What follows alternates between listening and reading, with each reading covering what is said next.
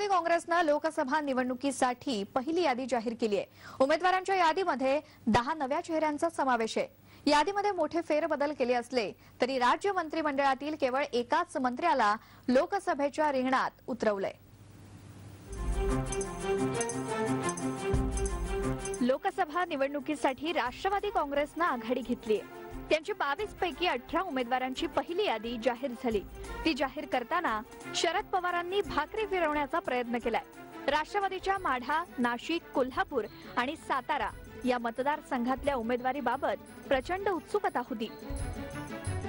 राष्ट्रवादीनं ईशान्य मुंबईतून संजय दिना पाटील साताऱ्यातून उदयनराजे भोसले बारामतीतून सुप्रिया सुळे रावेरमधून मनीष जैन शिरूरमधून देवदत्त निकम जळगावमधून सतीश पाटील नाशिकमधून छगन भुजबळ कोल्हापुरातून धनंजय महाडिक परभणीतून विजय भांबळे अहमदनगरमधून राजीव राजळे उस्मानाबादमधून पद्मसिंह पाटील. अमरावतीतून नवनीत राणा.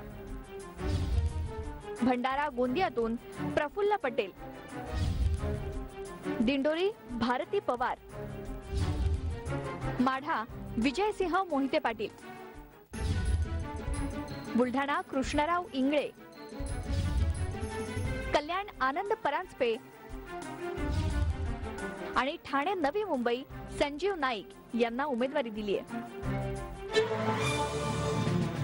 उमेदवार जाहीर करताना राष्ट्रवादीनं सात विद्यमान खासदारांना पुन्हा उमेदवारी दिली आहे. तर दहा नवे चेहरे देण्यात आलेत. विद्यमान खासदारांमध्ये संजय दिना पाटील संजीव नाईक प्रफुल्ल पटेल सुप्रिया सुळे उदयनराजे भोसले पद्मसिंह पाटील आणि आनंद परांजपेंचा समावेश आहे. तर दोन हजार नऊ मध्ये माढा मतदारसंघातून निवडून आलेले शरद पवार यांच्याऐवजी माढ्यातून विजयसिंह मोहिते पाटलांना उमेदवारी देण्यात आली आहे नाशिकमधून खासदार समीर भुजबळांऐवजी छगन भुजबळांना रिंगणात उतरवण्यात आले या उमेदवार यादीचं आणखी एक वैशिष्ट्य म्हणजे दोन हजार नऊ मधल्या दहा उमेदवारांना डच्चू देण्यात आले. पुन्हा उमेदवारी न दिलेल्यांमध्ये कल्याणचे वसंत डावखरे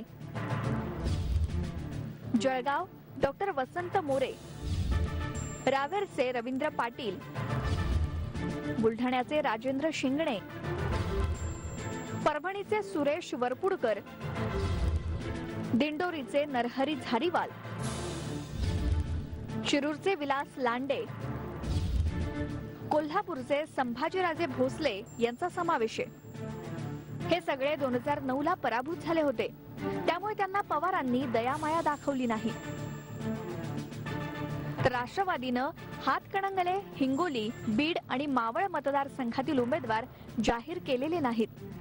हिंगोली आणि हातकणंगलेची जागा आदलाबदल होण्याची शक्यता आहे. प्रशांत लीला रामदास टीव्ही नाईन नवी दिल्ली. लोकसभा निवडणुकीसाठी आपनं दुसरी यादी जाहीर केली आहे यामध्ये महाराष्ट्रातल्या दहा उमेदवारांचा समावेश आहे.